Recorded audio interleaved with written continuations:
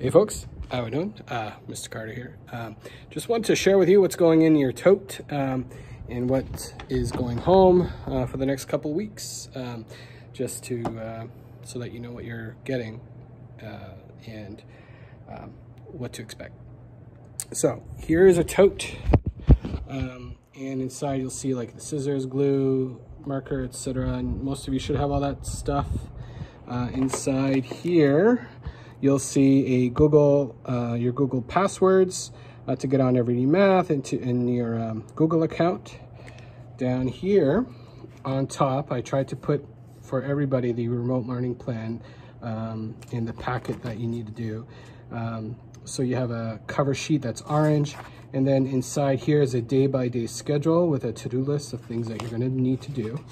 Um, and there's a math, there's some capitalization, there's a scholastic news in here. I also put some extra just paper for scrap paper if you need to do some work in there. Uh, inside your tote, I tried as best I could to find any book that you were reading, quiet reading, and I put it in here. You should also have your math journal because you're going to need that.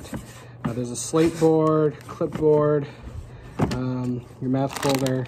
I also included, for most of you, your uh, art sketchbook and whatever markers, colored pencils you may have had in your desk. Um, so yeah, that's about it. Um, that's what you should expect when you come get your totes and get your totes at home.